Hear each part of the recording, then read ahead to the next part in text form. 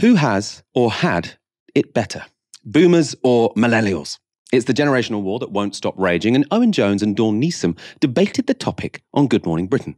Boomers felt optimistic. Everything we were getting was a positive for us because we'd started off from a low base after the war years. Um, whereas millennials are starting off from a high base. So everything they are expecting, it's, it's slightly entitled. Sorry, Owen. Oof. Um, I know, I know. I'm not going to call you a snowflake like that, but you're slightly entitled. So, but because you're starting off from that high base, you feel disappointed with everything you're getting. I think, you know, I think basically every generation has faced challenges and we're not really comparing like with like, are we? I mean, the difference is the attitude. I said, we expected nothing, so everything we got was a bonus. Mm. Millennials expect everything, so everything is a disappointment. Millennials wow. born between 1980 to 1995. I'm a geriatric millennial. That's the 84. I was going to say that. Hanging on by my aging fingernails. You're the entitled generation, no, Owen. I think that's unfair. I'll give you one basic reason. So, half of baby boomers own their own home by the age of 30.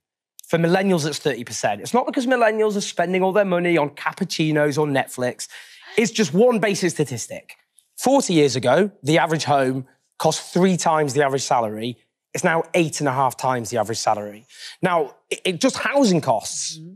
You spend far more as a percentage of your income, even if you're a private renter. And one of the reasons for that is take right to buy. Mm-hmm. Lots of homes were flogged off, but not replaced. 40% of the council homes that got flogged off under right to buy and are let out by buy-to-let landlords, and they're charging twice the rent. Mm. So if you're a millennial, you don't get council housing. Don't even think about it. You'll be stuck on a waiting list until you're probably actually in your retirement. You, you can't get a home often because house prices are so, extre- are so expensive. But the other thing is the private rented sector is a rip-off. It's, You're it's... paying huge amounts of your wage packet on private rents. Yeah. And you you made one other point, which I think is really important, and that's how things seem to be getting better.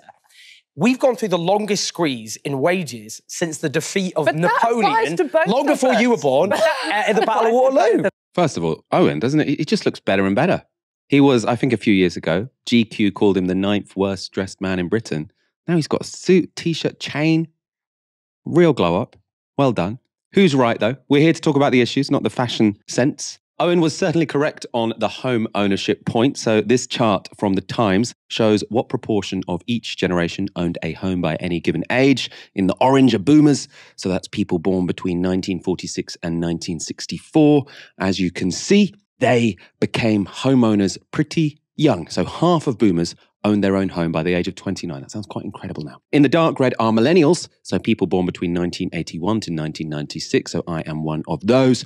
Only 27% of millennials owned a home aged 29. And it's not until age 36 that the majority of millennials became homeowners. So I suppose I still have some hope. Maybe in three years' time, I will myself be one. It seems a little bit dubious at the moment. What about Dawn Neesom's point about expectations about what life should be like, though? Well, on that front, this chart might support her point. So it shows what proportions of people's income were spent on different goods and services over time. So, as you can see, between 1960 and 2010, housing costs have gone up. We can see well that would be the case. Rents have gone up. The cost of buying a house has gone up. But also, so has the proportion of people's incomes going on leisure activity. And as you can see, that's partly because food has got a lot cheaper. Now, obviously, food between last year and this year has got massively more expensive because we've had short term inflation. That's been a big problem for people who have been budgeting for food as it has cost over the past 20 years. People aren't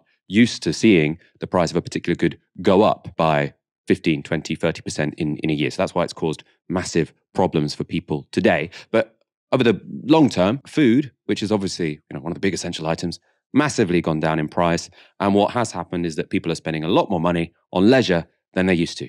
So I suppose when people say we had it so hard in the 60s or the 70s or the 80s, you guys have it great now, one of the things they might be talking about is that people spend more money in this day and age on leisure goods, having a good time, than they do on the essentials for life. So when they say, we used to have it so hard, you have it so good, maybe that's what they mean.